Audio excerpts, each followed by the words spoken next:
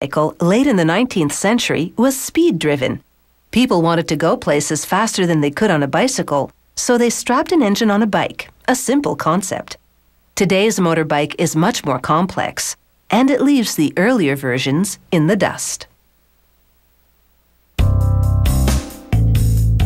These motorbikes are an engineering feat. They start by welding the frame out of lightweight aluminum, an advantage for speed and fuel efficiency. The frames are cleaned, powder painted, then baked to cure the paint.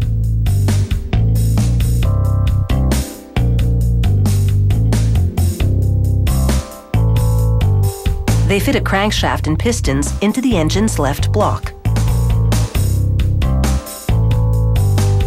They tighten the bearings and caps.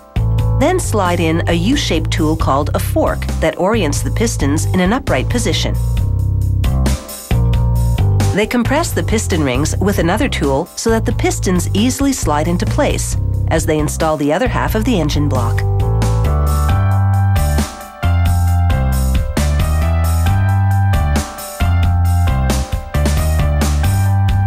They place a gasket on the top of the block and then install the cylinder head.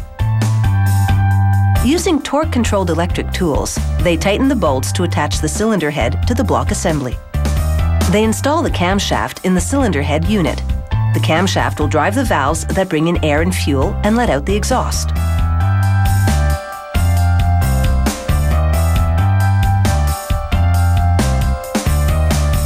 They rotate the crankshaft to fine-tune its action.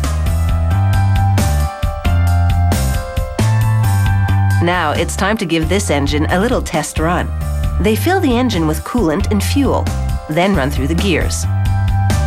They check for leaks and overall function. When it passes inspection, they purge the coolant from the engine. A motorbike engine isn't only about function, it also has to look good because it won't be totally hidden under a hood. Now, they lower the 102 kilogram engine onto a cradle that sits on a conveyor. They mount the frame onto it.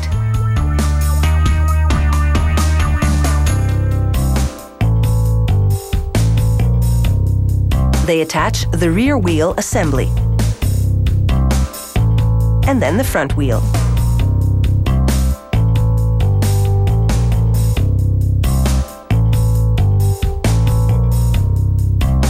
They attach the handlebar using torque-controlled tools. And they tighten the brake assemblies. Next, they fill the radiator with antifreeze.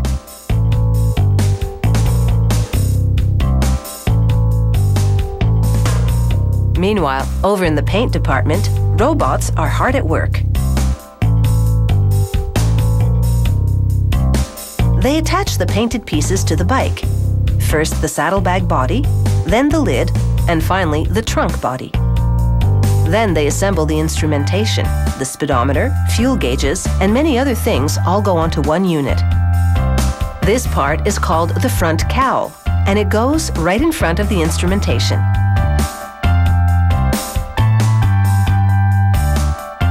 They lower the front cowl with the meter panel onto the bike.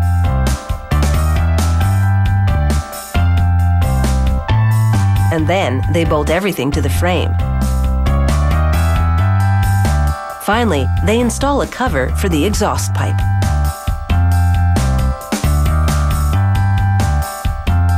They check everything to make sure it's solidly put together. And then they pull up to a dynamometer, a machine that measures mechanical power.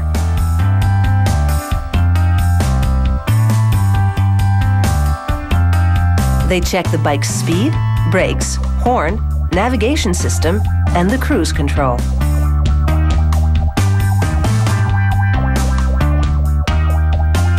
Every motorbike undergoes this scrutiny, and if it passes, it's ready for life on the road.